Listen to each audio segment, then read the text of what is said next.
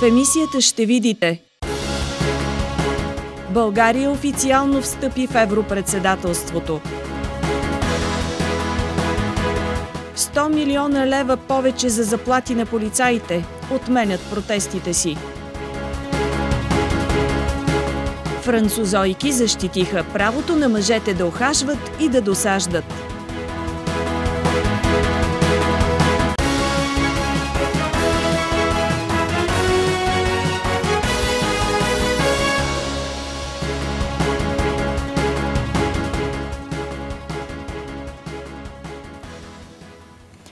Добър вечер, вие гледате новините на телевизия канал 0, аз съм Светла Факирчева. Днес бе церемонията за официалното откриване на първото ни ротационно председателство на Европейския съюз. Много от хората в Бургас обаче не се вълнуват изобщо от събитието. Много от хората в Бургас не се интересуват изобщо от българското председателство на Европейския съюз. Според тях то няма никакво значение и няма да доведе до подобряването на живота у нас. Ми, мисля, че няма да са кой знае какви ползите за България. Да. Наистина ще научат за нашите исторически забележителности, но беднотията ще се покаже, защото ги посрещат с, мисля, че са 9 стачки. Аз от нищо не съм вълнуван вече, претръпнах. Разбираш? Изтръпнах вече. А, надявам се да има някаква полза от цялата тая работа, но а, повече май бяха негативите, защото ако казват, че тия убийства са преди европейското са заради това и са по-казни, значи от цялата работа е негативна, е, негативно е, е усещането. А, да се оправят нещата, България да се оправи като държава и така. Не, не се вълнувам. Немалка част от хората в Бургас обаче са оптимисти за председателството. Въпреки протестите по време на откриването му, бургазли смятат, че то ще впечатли хората от Европа. Надявам се, че ще е полезно. Еми, сигурно ще имаме ползите. България си е редовен член и вече много години сме. Трябва да имаме полза.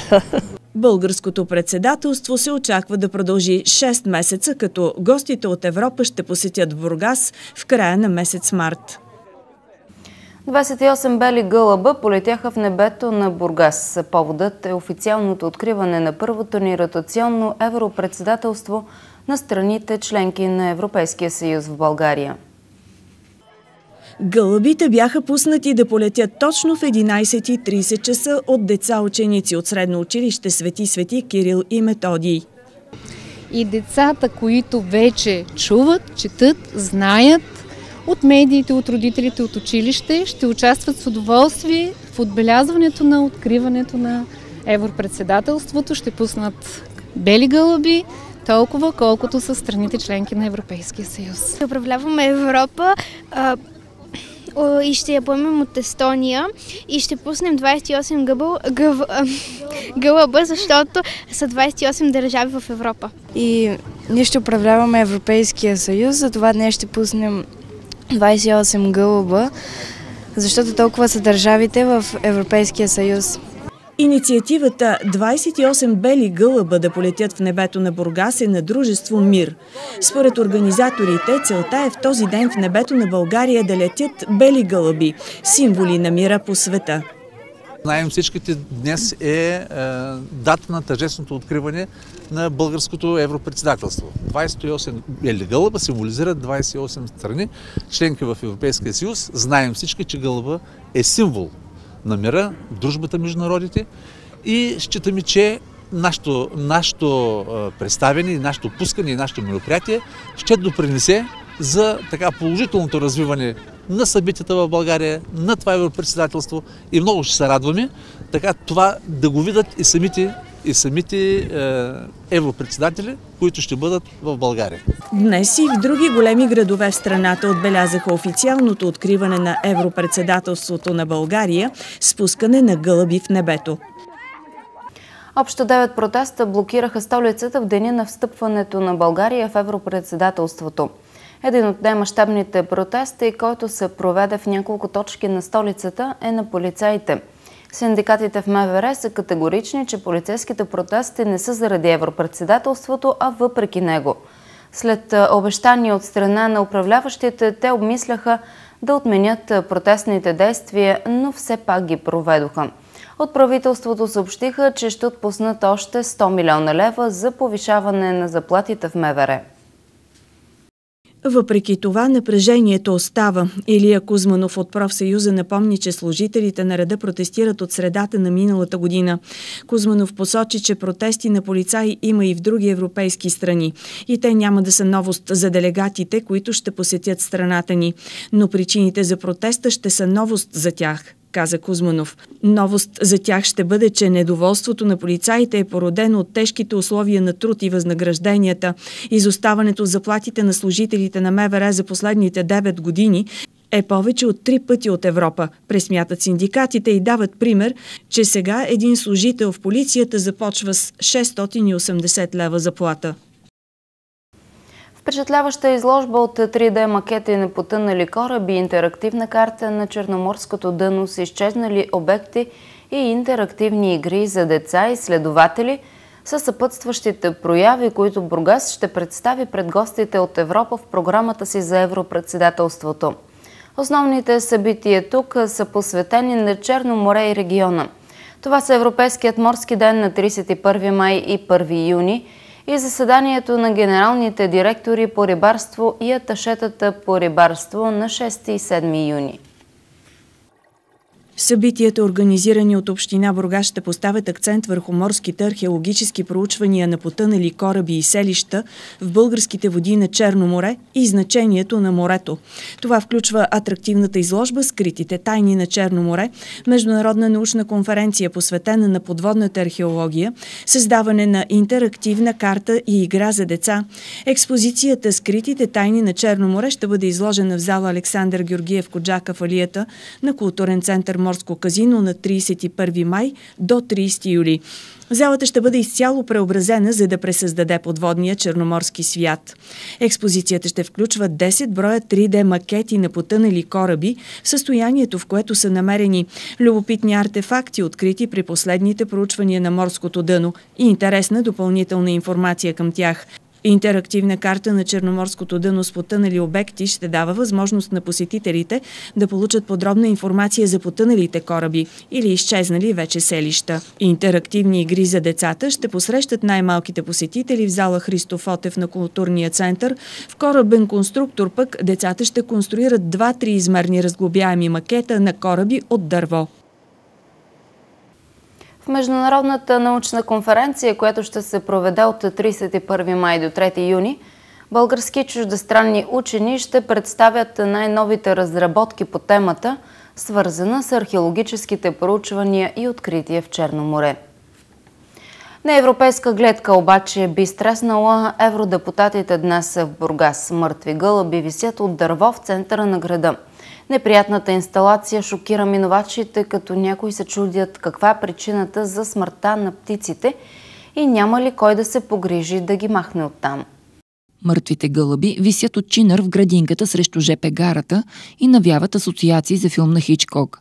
Тези, които ги забелязват, се стряскат от гледката. Отвратителна работа. То е страшно и, и нездравословно. Ужасно. То въобще нито в една страна няма такова чудо, като у нас. Хората се чудят към коя институция трябва да бъде подаден сигнал, за да бъдат махнати от дървото мъртвите птици. Много, много лоши асоциации и не знам на кого да се обадя, за да дойдат да почистят. От община Бургас заявиха, че ще сигнализират за случай от делозеленяване, които работят с фирми, разполагащи с техника да свалят птиците от дървото. Оттам коментираха още, че гълъбите сигурно са станали жертва на хищни птици, най-вероятно глароси. Пореден случай на физическо насилие след обиди в социалната мрежа. Група деца от основно училище княз Борис I причакала свои съученици от Васил Априлов в двора на училището, за да търси справедливост заради спор в Инстаграм. Повод за боя е връжда между шестокласничка от Васила Прилов и седмокласничка от княз Борис I, която от лятото насам постепенно ескалирала в чата на Инстаграм. Изненадващо обаче, причината за спора и тежките обиди не е съперничество за момче. Едно от моите момиченца се скарват с друго момиченце от другото училище в Борисовата градинка за една люлка. Заради тази люлка те вече се намират в социалните мрежи и започват да се обиждат една на друга. Естествено, едното от децата има свой кръг приятели, другото дете и той има своя кръг от приятели. И така между трите-четири момиченца от едното училище и три-четири момиченца от другото училище се разменят обиди в чатовете. Обидите продължили включително и по време на вчерашния ден, което станало и причина група седмокласници от училище княз Борис I да дойде в двора на Васила Прилов, за да разчиства сметки. Меле между децата обаче не е имало, заяви категорично директорът Мариана Стефанова, която ни предостави достъп до кадрите от охранителните камери. Също си разменят реплики и вече е имало размяна на, на Бойдин Шамар и скубане на коса. имало ли предварителна оговорка те да ги чакат или те са ги изненадали? А нямало е оговорка. Естествено, боят бе тема номер едно днес сред учениците на Васила Прилов. Ами те почка се дърпат за косите и... Да се ритат. Да. Аз се качих и там горе. Опитахте ли се да ги пушат Да, да. Успя ли? Ни до някъде, ни двама човека бяха. Дълго ли продължи? Колко продължи? Ми поне половин час имаше. Ей, първо тук изнес И после.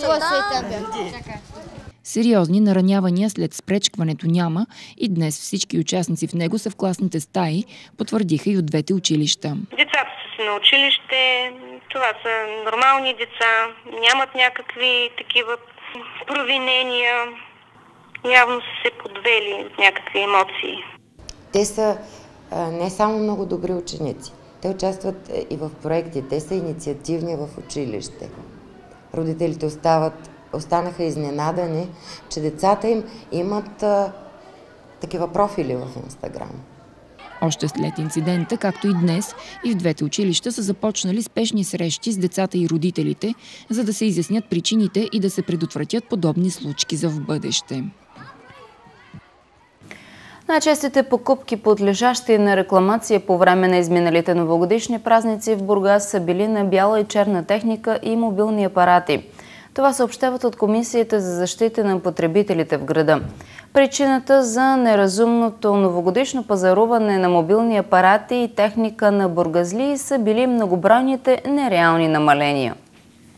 Въпреки, че от Комисията за защита на потребителите отправят чести апели към купувачите да внимават при покупката на бяла и черна техника, повечето хора по време на празници правят и по-масштабни покупки, най-често за подаръци, като PlayStation и нови модерни телефони. Моя апел, той винаги е бил такъв, преди да закупят стоката или да ползват услугата, потребителите са длъжни да бъдат запознати т.е. да се информират за, за нейните характеристики, начин на ползване, параметри и така нататък. И чак тогава да пристъпят към закупуване на стоката. От Комисията за защита на потребителите добавят, че напоследък все повече зачастяват и рекламациите в сферата на услугите. Изработката на врати до грами. В това отношение кухненско обзавеждане, спално обзавеждане, изработка. Рекламация може да предявите винаги в магазина, от който сте закупили неработещата стока, но само срещу документ за покупко-продажба. Ако не пазите документът, можете да представите гаранционната карта на продукта, който сте закупили от дадения магазин. Регионален исторически музей Бургас стартира образователна програма Опознай Бургас и Бургаския край. Тя ще даде възможност на гражданите да се запознаят с културно-историческото и природното богатство на Бургас и Бургаския регион. Инициативата на Регионалния исторически музей в Бургас е във връзка с Европейската година на културното наследство и има за цел да популяризира пред широката общественост местната история и традиции. Чрез специализирани лекции, придружени с презентации, ще бъдат представени неизвестни и малко познати факти и събития от областта на историята, археологията, етнографията и природата на Бургас и региона. Те са изготвени от музейните специалисти и ще бъдат представени пред широката общественост всеки петък от 16 часа в изложбената зала на историческия музей на улица Лермонтов 31. Лекциите ще се провеждат в периода януари-май и октомври-декември. Най-почитаната френска актриса Катрин Деньов се обяви срещу новия пуританизъм, предизвикан от секс скандалите и обяви, че мъжете трябва да имат право настойчиво да ухажват и дори да докосват жените – Деньов е една от стоте френски писателки, изпълнителки и преподавателки, подписали отворено писмо, отпечатано във вестник Монт, в което се изразява съжаление от вълната изобличения за сексуално посегателство и злоупотреби десетки години в Холивуд. Според тях последвалата крайна кампания е заплаха за сексуалната свобода по света. Изнасилването и принудата са престъпление, но да се опитваш да съблазниш някого, дори да е опорито или непохватно и досадно, това не е престъпление. Това е галантност и ухажване и не е признак на агресивен мачо, се казва в писмото. Стоте французойки изтъкват, че добилата публичност с историята с Уейстейн е дала възможност да се обърне внимание на проблема с сексуалното насилие срещу жени, особено в контекста на злоупотребата с служебно положение от страна на мъжете. Но според дамите, тази свобода на словото придобива противоположна форма, когато тези, които отказват да подкрепят нападките, биват заклеймявани като предателки – Френските авторки изтъкват, че започнатата в социалните мрежи кампания в подкрепа на жертвите на секс-тормоз е прераснала в начин за публично предявяване на обвинения срещу хора, които фактически не получават право на ответни действия, нито право на отговор и биват приравнени към сексуалните престъпници. Такова прибързано правосъдие вече доведе до жертви. Някои мъже се сблъскаха с ограничения в работата, бяха отстранени или уволнени, макар че постъпката им е била в това, че са докоснали нечие коляно, опитали са се да откраднат само целувка, да говорят на интимни теми по време на работа или да изпратят съобщение с сексуален намек на жена, която не иска да отговори на чувствата им. Тенденциите в нашите взаимоотношения са по-важни от тези в модата и козметиката. Какъв е смисълът да бъдем млади и красиви, ако не можем да се открием един друг – този въпрос постави в сутрешния блок на канал 0 козметологът Анна Петкова. Анна е в бизнеса с мода и красота от повече от 15 години в Бургас. Среща се с много хора, пътува в Европа. Напоследък все повече самотници има около нея, които са направили свой избор да бъдат сами. Момичета, които са перфектни и казват няма мъже и срещам мъже, които са толкова мили, добри и с... А... И готови да обичат. Да, готови, които казват пък няма а, да. жени. И Някак се тези две групи не могат да се срещнат. Според Анна, проблемът е в това, че вече няма къде да се срещнем. Примерно, а, ще отиде на клуб. Кой ще намериш в клуба? Който да да ти даде щастие. Кой, как ще, кой как мъж ще, ще се, или в ресторант ще очакваш някой мъж, който ти хареса от съседната маса. Или на улицата. Да стане и да дойде да се представи. Според Анна, мъжете избират да си останат вкъщи. Те дори изгубиха инстинкта си към ловуване, тъй като социалната мрежа и други достъпни виртуални удоволствия променят нуждата им да ухажват жените по нормалния начин. Всичко стана една лъжа с социалните мрежи. Всичко стана, те мъжете спряха да излизат, защото те сърфират и ловуват в интернет.